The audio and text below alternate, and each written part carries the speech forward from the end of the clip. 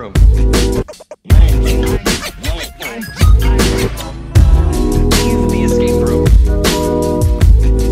Have you ever felt like your back was against the wall and you had nowhere to go?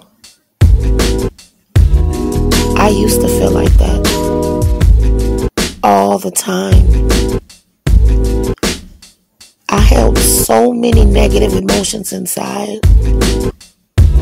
it almost made me lose my mind. Well, actually, I did lose my mind for a while. So much was held in. I managed to reach my breaking point because it was just too much. Too much that I held inside that I shouldn't have. Things that I put away emotionally since I was a child. So there I was in the hospital, in a room all by myself, with nothing to do. Wishing for the life of me that I would see at least one face of somebody that I knew. But I didn't. In my mind that's all that I had. And because of the severity of the situation, I couldn't have access to a pen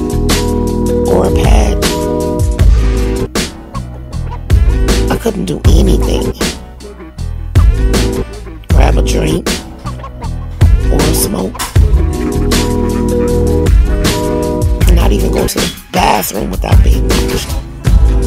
Is the escape room. My mind was the key to my freedom at that point. Is the escape room. Like an escape room. Strengthening my mind was what helped me cope. And doing that gave me hope. So I decided to make a mental note how I felt. And I made it a point to set time aside to strategize a plan on how to deal with the hand of life I was dealt.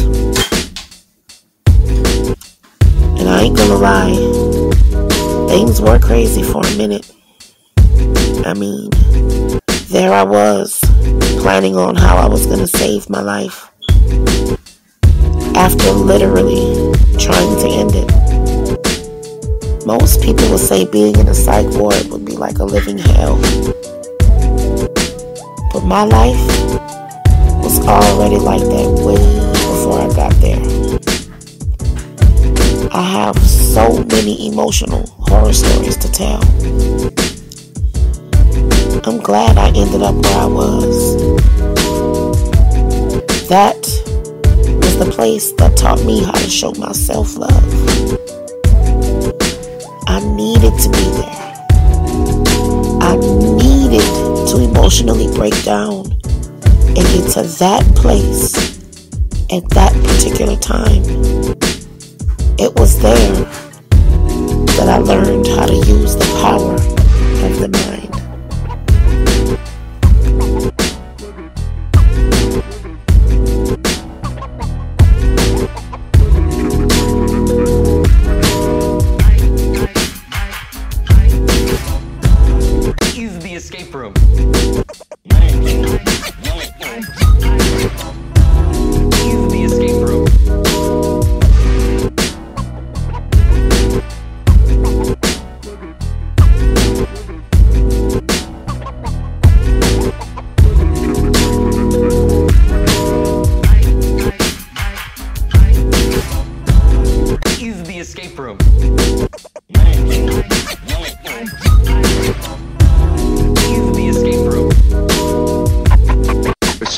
Escape prison. Escape attempts were rare. This wasn't the easiest place in the world to break out of. Escape from this prison. Broke out of their cells, out of the prison, and disappeared. Hatched their plan to break out. Hatched their plan to Is the break out. escape room. Despite this propaganda, escape attempts were made. Is the escape room.